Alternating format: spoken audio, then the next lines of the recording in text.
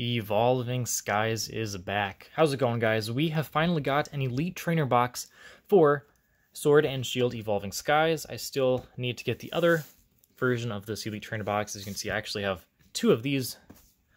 Uh, this version, featuring Jolteon, Flareon, Leafeon, and Umbreon.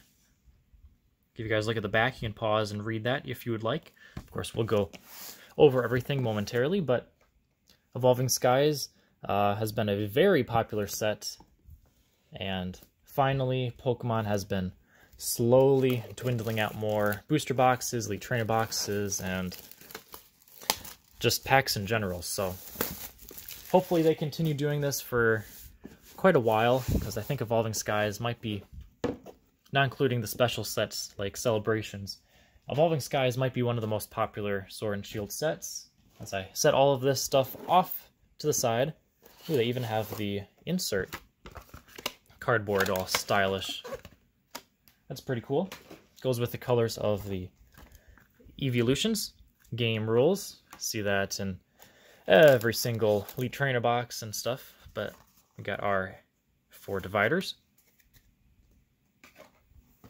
We have energy. You got sleeves, and these uh, look to be already opened, but not a big deal. They should be all in there and able to close it up still, but there you go. Always some pretty high quality sleeves, I do have to say, as I take the rest of this stuff out. Here is a code card. I will be saving that code card, but all of the other codes from packs will be giving away. And then, of course, we have our die and damage related stuff. And should be eight Evolving Skies packs. One, two, three, four, five, six, seven, eight. And as you can tell, they are very loose. So who knows what that means? Just means a different print run from the non-loose packs. So Evolving Skies, let's just get right into it with Umbreon. Very squeaky packs, I will say that. So if you're hearing them on, hearing them on the camera, uh, that would be why super squeaky. There is our first code card. One, two, three, and four. We have our energy to start us off with. Braviary, Switching Cups, Tentacruel, Drowzee, Scraggy, Bagon, Woobat, Reverse Holo, nope, not yet, Temple. There's a Reverse Holo, a big rare, nice Threevil, and a non-holo Gourgeist.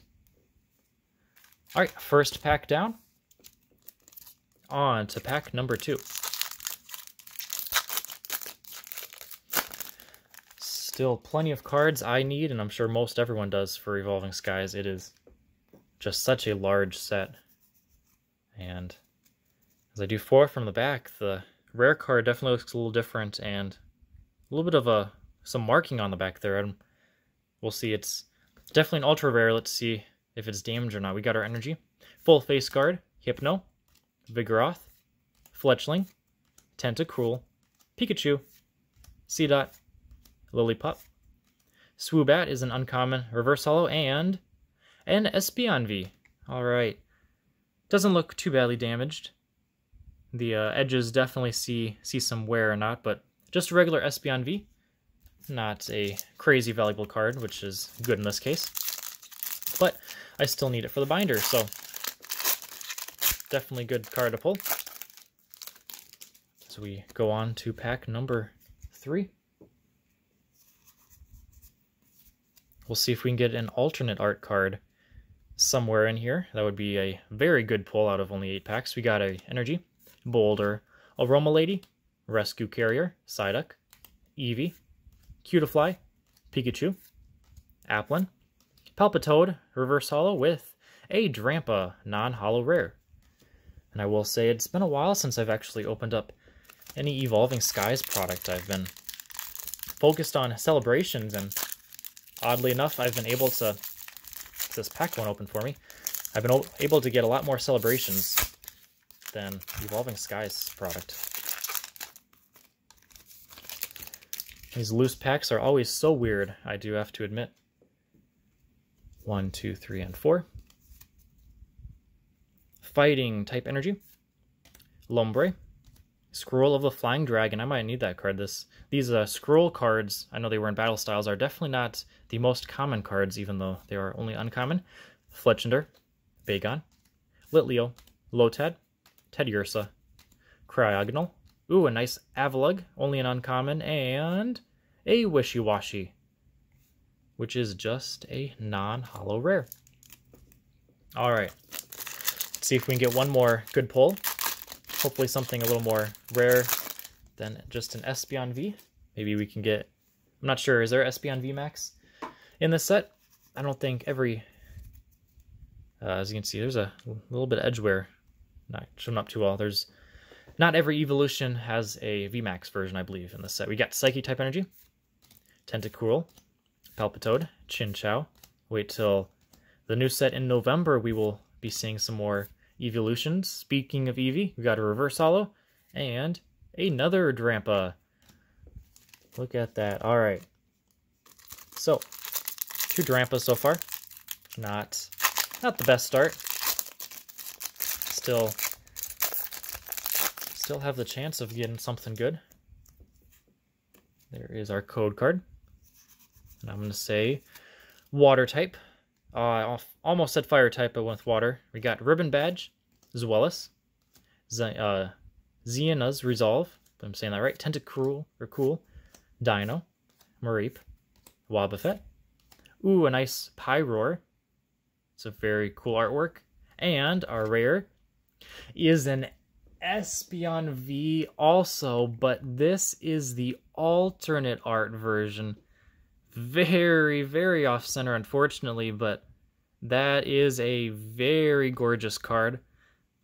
Not as valuable as the Umbreon, I believe, but regardless. Centering is actually better on the back, but man, Evolving Skies has honestly been pretty good to me, even though I've only opened up a handful of booster packs. We got Espeon V. I'm going to carefully set that off to the side, and I will take a look at it better after the video. But two packs left. We have not pulled a regular holo card, but we have pulled two Espeon Vs. So I will consider this a win for this uh, this box. Uh, definitely picked the right one. Who knows? Maybe both boxes have tons of good pulls. But for now, I'll keep that one sealed. We got a shopping center, Herdier. There's the Pyroar and the regular version.